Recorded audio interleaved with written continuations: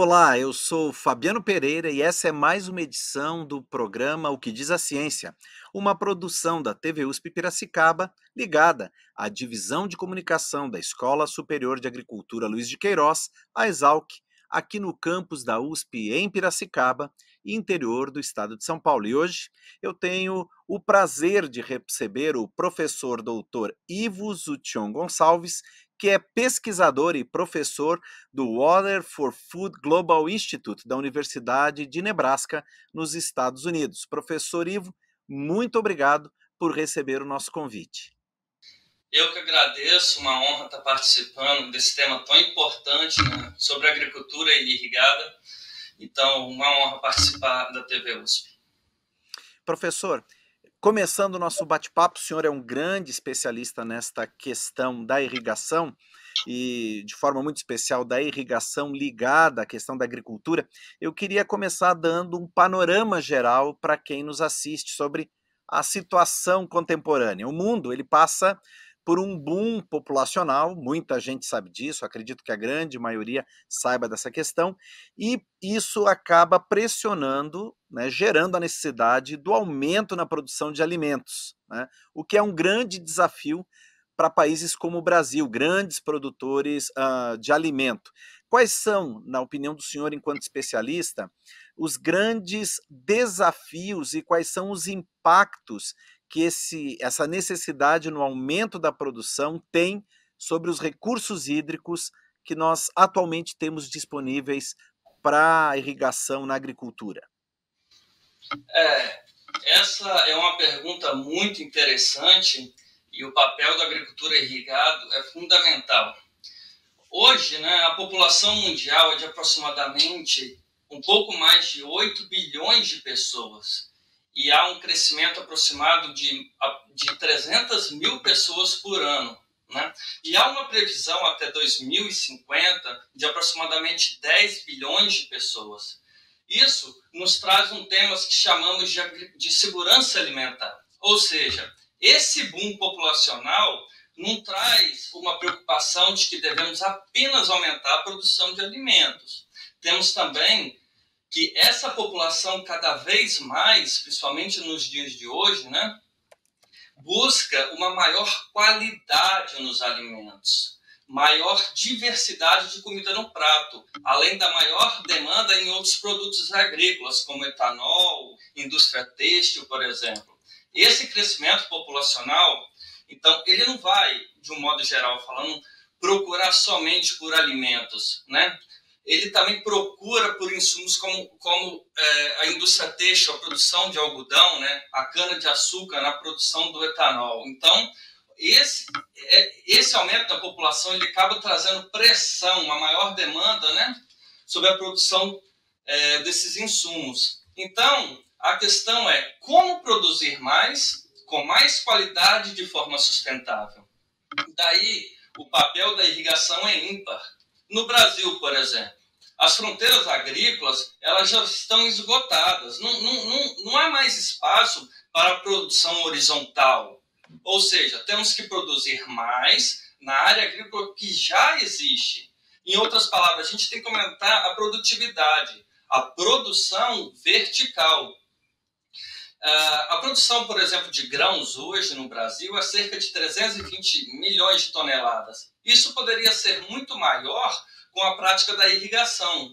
Pois quando a gente compara, por exemplo, com a área irrigada, o milho, por exemplo, poderia sair de uma produtividade de 6, 7 toneladas por hectare, né, que é a, é a média nacional hoje, para uma produtividade de 10, 12 toneladas por hectare. Então, olha só o impacto né, da irrigação sobre esse exemplo, no caso do milho. Isso vale para outras culturas também. Por exemplo, na cana, a gente poderia sair de uma produtividade média de 65, 70 toneladas por hectare para mais de 150 toneladas de colmo, né? Então, ou seja, existe um yield gap que a gente diz, né? Essa expressão muito famosa, que ela é muito grande esse yield, essa lacuna entre a produtividade potencial né, de uma certa cultura que ela pode alcançar e a produtividade real da cultura. Esse gap ele é muito grande. E muito desse gap, dessa diferença, é, poderia ser muito melhor, muito menor, né, com a irrigação, né? A produtividade potencial e a real poderiam, né, aumentando essa produtividade é, real, seria, ela poderia ser mais próxima dessa produtividade potencial. Só que, para termos uma ideia do, cenário da agricultura é, atual, hoje temos aproximadamente né, 9 milhões de hectares irrigados no Brasil. Isso já considerando os 3 milhões de hectares fertirrigados, né, com, com vinhaça da cana-de-açúcar.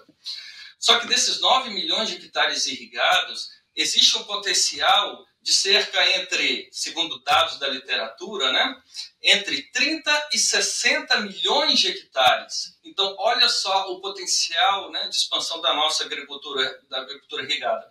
Agora, imagina quantos empregos e mercados seriam abertos com essa expansão. Qual é o impacto disso na economia? Falar da expansão da agricultura irrigada é muito mais que simplesmente falar apenas da porteira para dentro, né?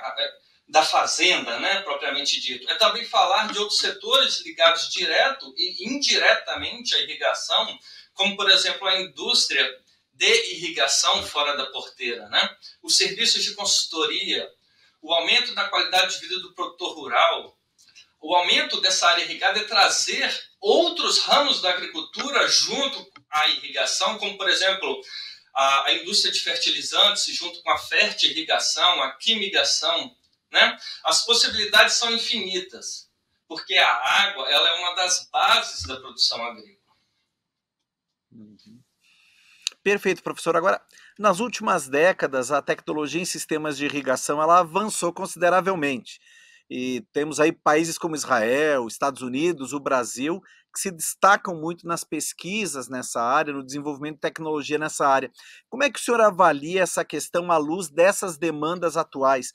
Aquilo que nós já temos de tecnologia desenvolvida é suficiente, na sua opinião, para conciliar a escassez de recursos hídricos com esse aumento da demanda por produtos agrícolas? É um excelente questionamento. Atualmente, as pesquisas têm proporcionado novas tecnologias para a agricultura irrigada, tanto relacionadas à engenharia de sistemas de irrigação, quanto para o manejo, monitoramento né, e, consequentemente, também para a gestão hídrica propriamente dito. Obviamente que em regiões semiáridas, que são regiões com forte escassez hídricas, né, fica mais complicado levar água ao produtor rural por uma questão de logística porque são regiões muitas vezes afastadas, né, é, dos mananciais. Daí seria um outro assunto, porque para essas regiões demandaria, por exemplo, grandes obras para o transporte de água e etc. Né? Mas em relação à tecnologia que temos disponível hoje no Brasil, temos sim uma tecnologia de ponta. Só para você ter uma ideia, as maiores empresas do mundo na área de irrigação estão no Brasil. Todo mundo, o mundo inteiro atualmente, todas as empresas hoje olham para o Brasil, justamente por conta é, do seu potencial de expansão da agricultura irrigada, né? Sair dos 9 milhões e, e chegar até 30, 40, 50 né? milhões de hectares irrigados. Então, é um mercado que não para de crescer.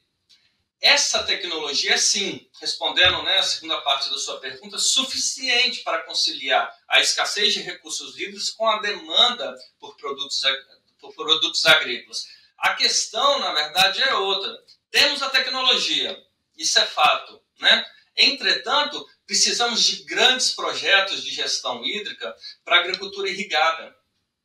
Só assim vamos expandir as áreas irrigadas no Brasil de forma sustentável. Do contrário, sem a gestão, teremos problemas no futuro por conta da falta de planejamento. Então, temos que aliar gestão dos recursos hídricos né, com expansão da agricultura irrigada. Perfeito, professor. Agora, tomando, né, aproveitando essa sua resposta, seria possível nós citarmos alguns desses recursos tecnológicos né, que o senhor poderia usar como exemplos para e que tem colaborado para o aumento da precisão desses sistemas de, de irrigação e, consequentemente, colaborado com a economia de água empregada nesse processo? Sim.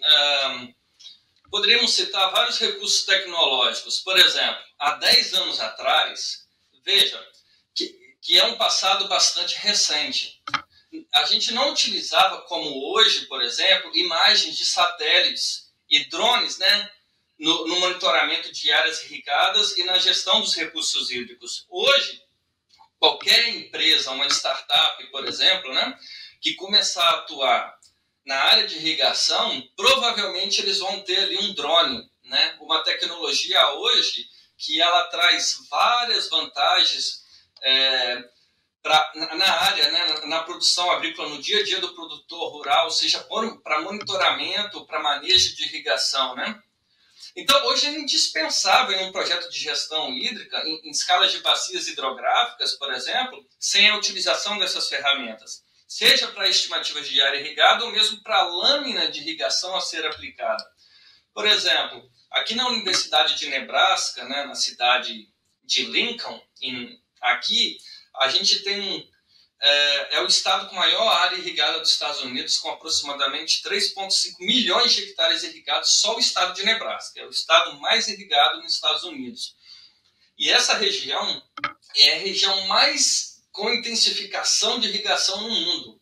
Então, hoje, né, muito dos campos irrigados da Universidade de Nebraska, né, que a, a, a gente faz o monitoramento e, e o manejo da irrigação, ou seja, quanto de água que deve ser aplicado e quando que essa água deve ser aplicada. A gente faz através de sensoriamento remoto, através de imagens de satélite de drones. Né? Então, essa tecnologia ela tem nos proporcionado otimizar o manejo da irrigação, isso, e, e isso traz uma economia de água, de mão de obra. Né? Então, isso acaba trazendo um pouco mais de lucro e eficiência para todo o sistema, né? E isso é muito importante, isso que a gente busca, essa sustentabilidade, manter os níveis altos de rendimento, mas com sustentabilidade. Hoje, né, atualmente, com a internet das coisas, podemos integrar, por exemplo, sensores de umidades do solo, né, outra tecnologia, painéis controladores de irrigações, é, estações agrometeorológicas automáticas no campo, é, para aprimorar isso tudo, para aprimorar o manejo da irrigação. Esta não é muitas vezes né, uma, uma realidade para a maioria dos produtores rurais, né, principalmente o pequeno produtor. A gente sabe disso. Mas essa tecnologia ela vem ganhando até mesmo esse pequeno produtor a preços, a preços cada vez mais acessíveis. Então ela tem chegado cada vez mais na, no cotidiano, na vida do produtor rural.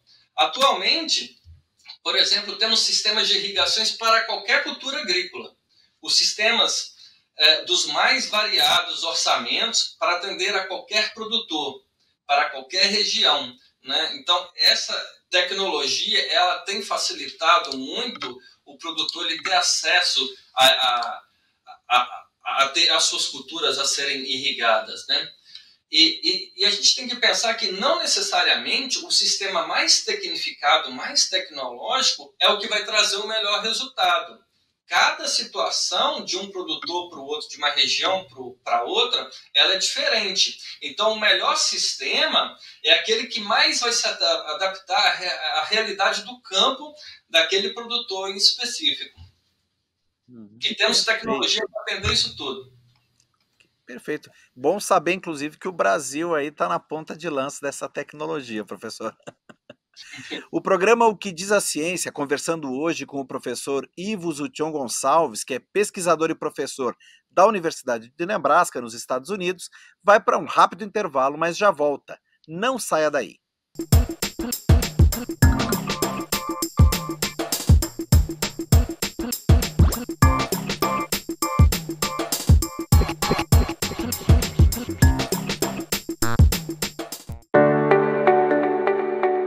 Todos nós precisamos de alimentos. Não apenas o suficiente para não sentir fome, mas também a quantidade adequada para conseguir os nutrientes que precisamos. A FAO foi criada em 1945, depois de duas guerras mundiais, uma grande depressão, fome e outros conflitos e catástrofes existe para trabalhar com governos, parlamentares e sociedade civil e apoiar a solução de problemas globais econômicos, de produção, de distribuição, armazenamento e consumo de alimentos em todos os momentos.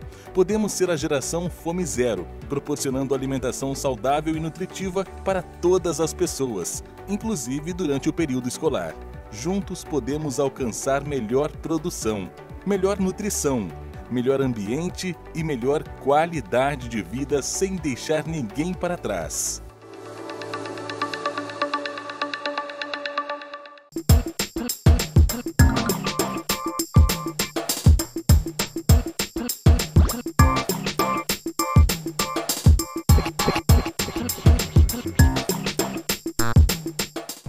Programa O que diz a ciência está de volta e hoje eu converso com o professor Ivo Zution Gonçalves, que é pesquisador e professor do Water for Food Global Institute da Universidade de Nebraska, nos Estados Unidos, especialista na questão de irrigação e gestão dos recursos hídricos na agricultura. Professor, tomando como base as suas respostas do nosso primeiro bloco, o senhor falou que o Brasil aí é ponta de lança, vamos dizer assim, né, na, no desenvolvimento de tecnologia para irrigação. Qual é hoje a situação do Brasil nessa questão? As fronteiras agrícolas, é, é sabido que as fronteiras agrícolas do Brasil elas estão próximas dos seus limites e a gente tem aí o grande desafio de aumentar substancialmente a produção de alimentos, não só para atender o mercado interno, mas também como uma exigência do mercado externo. Uh, os nossos sistemas irrigados no Brasil, eles dão conta dessa demanda, desse, dessa necessidade de aumento uh, da demanda e de que forma isso aconteceria? É, como eu disse anteriormente, né, somente 9 milhões de hectares são irrigados no Brasil. Isso é muito pouco. Isso representa aproximadamente 14% da área agrícola do Brasil. Né? Que são, a área agrícola do Brasil hoje são aproximadamente 64 milhões de hectares. É muito pouco do ponto de vista do tamanho do potencial que a gente tem para expandir a nossa, a nossa área irrigada. Né? Somos o sexto país em, em, em em tamanho de área irrigada no mundo, né? Depois da China, Índia e Estados Unidos, né? Que são os três maiores. É, entretanto, esses 14% irrigados, né? Da área agrícola cultivada no Brasil, é interessante esse número, 14% da área agrícola é irrigada, mas ele corresponde aproximadamente a 50% da produção agrícola brasileira. Daí a gente vê o papel, quão é importante a gente investir na irrigação. Né? Obviamente né, que a fome no mundo não é um, é um fenômeno muito complexo, né, que tem como causas, de, causas diferentes fatores de cunho político, econômico, estrutural, né, climático. Então não adianta somente também a gente ter a produção de alimentos que atenda a população global em quantidade, se essa produção também ela não está disponível a todos. Isso acaba gerando uma insegurança alimentar. Né? Mas é fato que o Brasil, com o potencial de, que, que ele tem de expandir a agricultura irrigada e com know-how, né?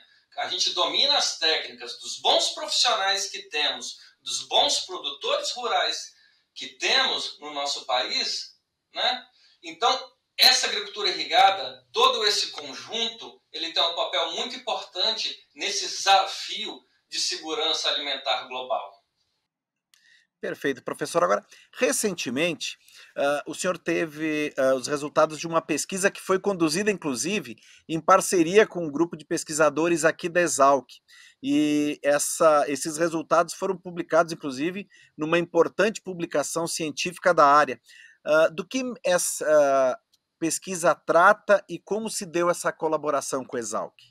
Ah, maravilha. É, eu tive a honra, o privilégio né, de trabalhar como pesquisador na posição de pós-doutorando na Exalc por pouco mais de dois anos. Né? Isso foi, de certa forma, recente, foi em 2020, 2021, 2022, uma parte de 2022, com a supervisão do professor, né, o doutor Fábio Marim, que quem é da área de meteorologia, micrometeorologia, provavelmente já ouviu falar o nome dele, né? E o professor Fábio Marim, ele foi o meu supervisor através, através de uma bolsa de estudo FAPESP, né? Então, essa publicação que, que o senhor mencionou, é, ela teve uma parceria importante com, também com o professor Fernando Mendonça, da Exalc, né? que ele atua na área de irrigação, principalmente irrigação de pastagem. Né? E o seu ex-orientado de doutorado, o Arthur Sanches. Então, o professor Fábio Marim como supervisor e como parceiros o professor Mendonça e o seu ex-orientado, doutor Arthur Sanches. Essa pesquisa, né, é, resumindo, né, em específico, ela é relacionada diretamente com o manejo da irrigação, utilizando-se lisímetros, que, que são estruturas né, de engenharia onde nós podemos mensurar o quanto de água o sistema de cultivo ele perde para a atmosfera, seja na forma de transpiração pelas plantas, né, principalmente pelas folhas, quanto através da evaporação da superfície do solo, né? E esses lisímetros eles, eles estavam instalados e cultivados com diversos sistemas de, de pastagens de forrageiras tropicais né, no campo experimental de Exalc. Né? Então, é, é, através desse estudo, a gente teve o objetivo principal de, de analisar uma relação evapotranspiração de referência e coeficientes de cultivo sobre alta demanda hídrica atmosférica do Brasil. O que, que é isso? Ah, quando a gente vai trabalhar com manejo de irrigação, existem várias formas de a gente poder estimar, né, de mensurar o quanto de água que deve ser aplicado no campo para atender a demanda hídrica da cultura. Então, uma das formas, que é bastante comum, é através do clima. Quando a gente sabe a demanda da atmosfera, ou seja, quando a gente tem uma referência dessa demanda atmosférica, que a gente chama evapotranspiração de referência, daí vem o nome, quando a gente multiplica essa referência né, com um coeficiente de cultivo agrícola, que é relacionado àquela cultura em específico que a gente quer irrigar, a gente consegue ter o total de água que a gente deve aplicar em uma escala diária, por exemplo, para aquela cultura em uma determinada época da, da, do, da fase fenológica da cultura. Né? Só que o que, que, o que, que esse estudo trouxe? Ele trouxe uma modificação nesse valor desse coeficiente de cultivo que a gente chama de KC. Né? Por quê? É, essa abordagem do KC com, com, a, com a evapotranspiração de referência, para evitar a superestimação das necessidades de irrigação, gastar mais água do que precisa para as culturas forrageiras, o que, que a gente observou? Que os valores de KC sobre altas exigências da, da atmosfera, ou seja, altos valores de referência da evapotranspiração de referência, cria uma relação da evapotranspiração de referência com o KC de forma inversa. Ou seja, em alta demanda atmosférica, né, independente da fase fenológica da cultura, né, nós, com o aumento desse, dessa evapotranspiração de referência, a gente tem uma redução do KC. Isso a gente conseguiu verificar através de dados medidos em campo, através da lisimetria. Então, é, normalmente na literatura, os valores de KC eles são físicos, é, eles são é, o mesmo valor de KC para cada estágio, é, para diferentes estágios fenológicos. Por exemplo, para o estágio inicial da cultura, a gente utiliza um valor de KC. Para o estágio, é, quando a cultura atinge o seu platô, o seu máximo de desenvolvimento vegetativo, a gente aumenta esse valor de KC, um valor maior, porque a demanda hídrica da cultura, teoricamente, ela é maior. E com a cultura como, por exemplo, do milho, que tem uma fase de maturação, então esse KC, nessa fase de maturação, ele é menor, porque a demanda hídrica da cultura é menor. Só que nós, né, nesse paper, nessa publicação, nesse estudo, o que, que a gente trouxe é que esse KC ele não vai variar de acordo com o ciclo fenológico da cultura propriamente dito. Ele vai variar de acordo com o aumento da evapotranspiração de referência. Porque quando a demanda atmosférica é muito alta, a planta, a fisiologia do vegetal, por ela própria, ela tende a fechar os seus estômatos, ou seja, ela tende a perder menos água, ela tende a diminuir sua evapotranspiração. Então, ela diminuindo a sua evapotranspiração, ela precisa de menos água, ela está perdendo menos água também. Então, quanto maior o valor de KC, é, desculpa, quanto maior o valor da, da evapotranspiração de referência, menor esse valor do KC. Então, é uma relação, a gente acabou criando uma relação inversa com isso.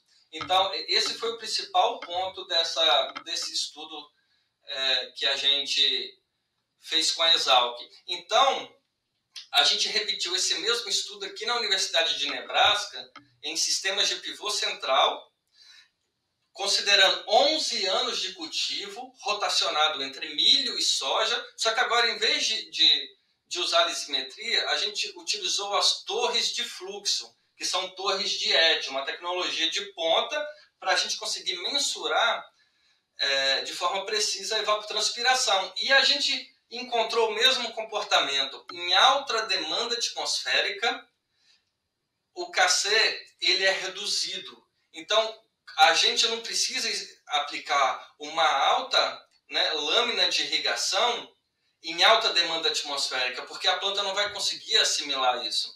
Então, é, em alta demanda atmosférica, como a redução desse KC, a, a demanda hídrica é, é, ela, é, ela é menor.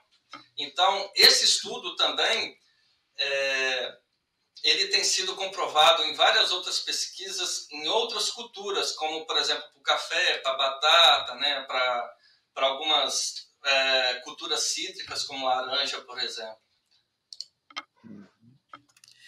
Perfeito, professor. E a partir dos resultados dessa pesquisa, uh, o que, que o senhor vislumbra para frente? Quais são os próximos passos a partir aí dos resultados obtidos nessa pesquisa conjunta?